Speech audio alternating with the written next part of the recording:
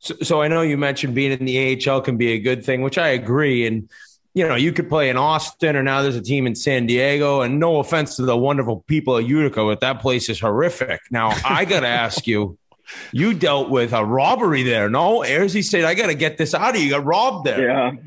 Dude, I got robbed at gunpoint um, in my own crib. Fucking was, insane. Uh, dude, crazy. This is like my, my go to story. I've told it so many times, but it was um it was actually after the gold medal game of World Juniors. I think it was the year that U.S. beat Canada shootout. Um, I think Parsons was in that that year or something. But I was living with Jordan Subban at the time, and you know, Subi had gone to bed um, around like 10, 30, 11 o'clock or whatever. So I I was a couple hours behind him, and I was just dozing off, and the back door on our um, our house didn't lock, so I I heard the back door open, and I was like, you know, Subi, you know, we had banter back and forth as roommates. In my head, I'm like, what the fuck is Subi doing? Like, I'm trying to fall asleep, like whatever.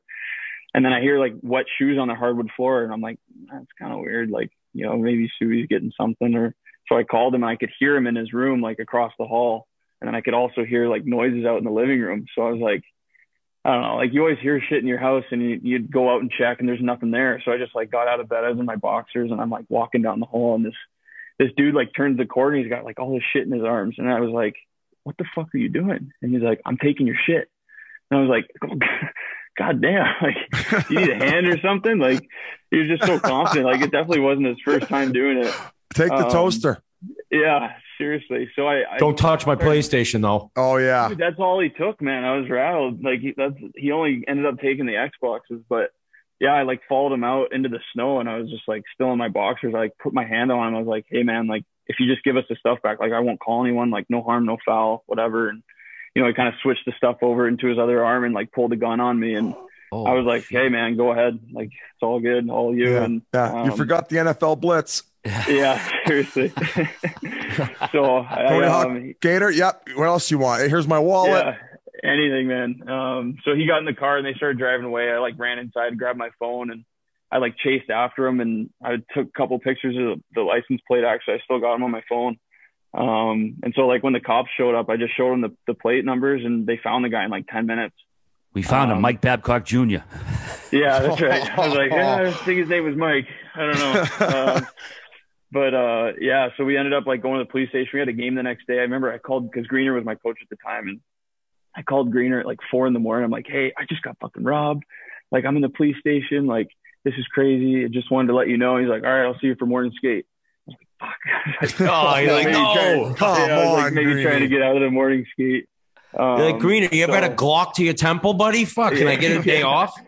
yeah, so it, it, was a, it was a wild experience, man. I got lucky. I mean, it, it was kind of stupid chasing after him, you know, in hindsight. But you know, you always watch these movies and you're like, fuck, like if I got robbed, I'd just beat the shit out of the guy. But when it actually happens, it's kind of like I froze, man. I was like, I don't know what the fuck to do. You got to watch those internet videos of that guy. What is it, Detroit?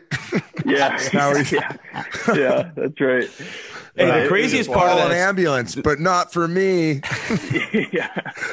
The, the, craziest part of that story to me is that you lived in Utica and you couldn't lock your back door. Like, come on. well, yeah. So we were bitching at our landlord like the whole the whole year. Really, we were like, hey, like this fucking door doesn't lock. Like, and she's like, she was the sweetest woman. She was like 95 um, she went to church like three times a week.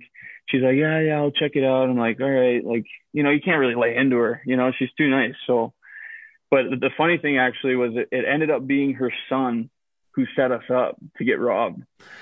Get so, the fuck dude, out yeah, of here. Because it was so set up, like the guy had a van like waiting, so they were like gonna swipe the whole house.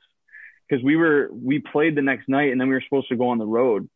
And so I guess this guy got, this is what the uh, DA ended up telling us. He's like, the guy kind of got caught up in this, like, you know, drug predicament where he couldn't pay this guy. And he was like, hey, these guys are going on the road. Like, they're not going to be there. He mixed up the date by, he was one day off. He's like, the door doesn't lock. Like, you can go swipe the whole house and, like, we'll call it even. And so um, it was just, yeah, it was just Jeez. fucking wild. Man. The sticky bandits. Wow. Yeah, the, the, the, Mutt Cutts. The, the, yeah, is that the Dumb and Dumber Mutt Cutts or whatever? Yeah, the Mutt Cutts. yeah, so yeah, the guy just messed up the date by one day, and you know, ended up. I think he got ten years. Like we had to go on trial and everything. Like I had to testify in oh, front of shit. him. I had to. I had to go in front of the jury, Fucking do the whole thing. PlayStation? So, It's nerve wracking, isn't it? Testifying, huh? dude, it was actually Wicked worse bad. than the robbery, honestly. No shit.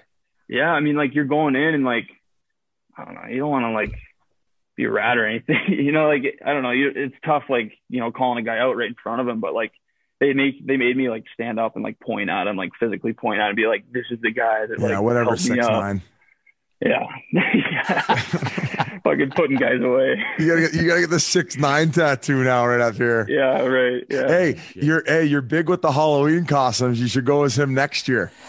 I don't know, man. That's uh, oh, might I'm get- sure. I'm sure the Canucks fans will be okay with that. I'm sure they won't Sure. fucking have the check mark brigade going nuts. oh, they could be going nuts for sure.